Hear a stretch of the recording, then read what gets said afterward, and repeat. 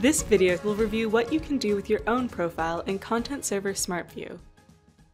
To open your profile, go to the header, click the profile image, and then click your name. On your General tab, you can personalize your profile by uploading or updating your picture and by entering other information about yourself. Your Following tab shows the mini profiles of the people you are following. Your Followers tab shows the mini profiles of any people following you. These tabs also include an activity feed that shows the recent activities of these other users.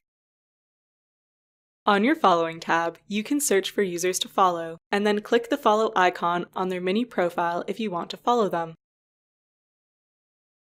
Your Activity tab lists your recent activity.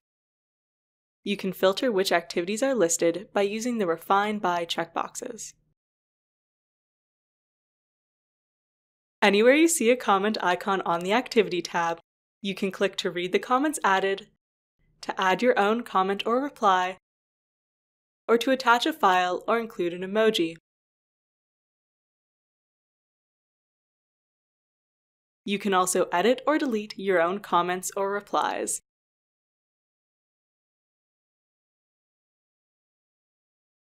Your Settings tab allows you to customize your notifications and privacy settings.